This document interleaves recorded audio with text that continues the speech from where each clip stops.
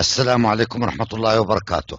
السؤال هو قارن بين الاستقصاء بولينج والمقاطعة interrupt والوصول المباشر إلى الذاكرة Direct Memory Access DMA من حيث التشغيل والكفاءة والاستخدام. Compare and contrast polling, interrupt and direct memory access DMA in terms of their operation efficiency and use cases.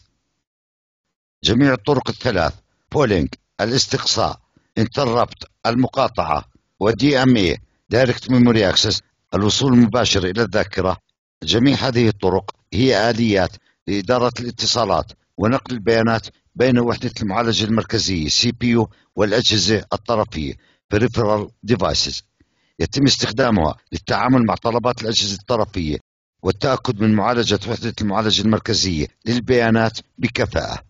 All three methods, polling, interrupt, and DMA are mechanisms for managing communication and data transfer between the CPU and peripheral devices.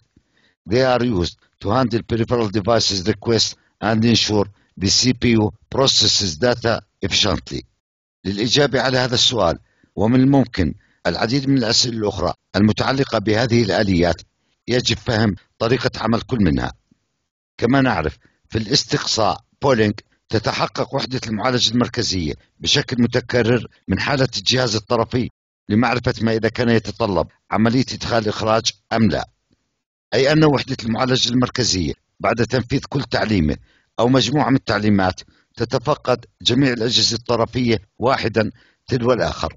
إذا كان أي من الأجهزة بحاجة إلى خدمة يجب أن تقدم هذه الخدمة. وإذا لم يكن أي من الأجهزة بحاجة إلى خدمة تستمر في تنفيذ التعليمات. طبعا في هذا هدر للوقت حيث في العديد من الحالات. لا تحتاج أي من الأجهزة إلى خدمة وبهذا فإن وقت وحدة المعالجة المركزية لتفقد الأجهزة الطرفية أو للتحقق فيما إذا كان أي منها بحاجة لإدخال إخراج جميع هذا الوقت هو وقت ضائع. تعتمد المقاطعة interrupt وهي الأكثر انتشارا آلية أخرى.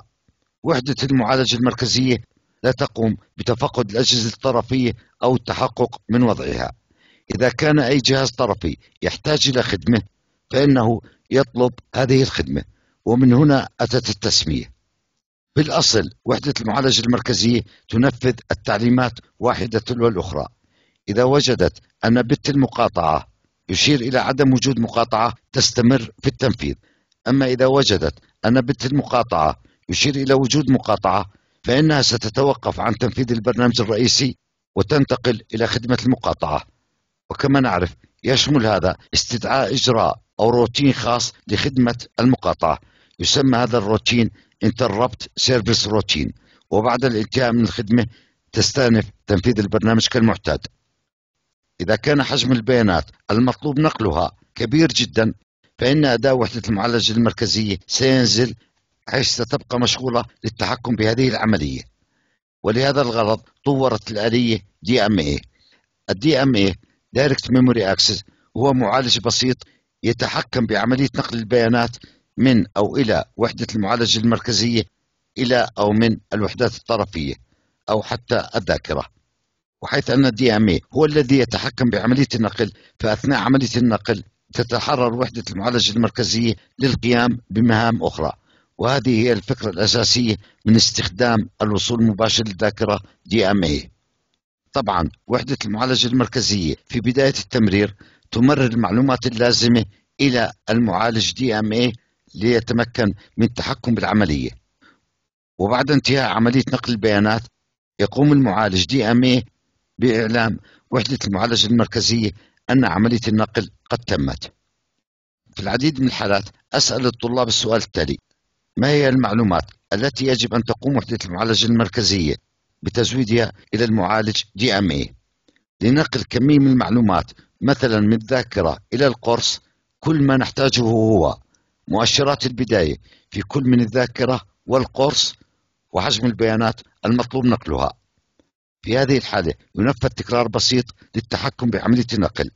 ننقل البيانات المعنونة بواسطة المؤشر الأول إلى الموقع المعنون بواسطة المؤشر الثاني نزيد كل من المؤشرين وننقص العداد الذي يمثل حجم البيانات المطلوب نقلها.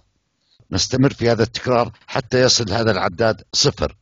وبهذا نكون قد نقلنا عدد البايت المطلوب من المصدر إلى الهدف بدون تدخل من وحدة المعالجة المركزية.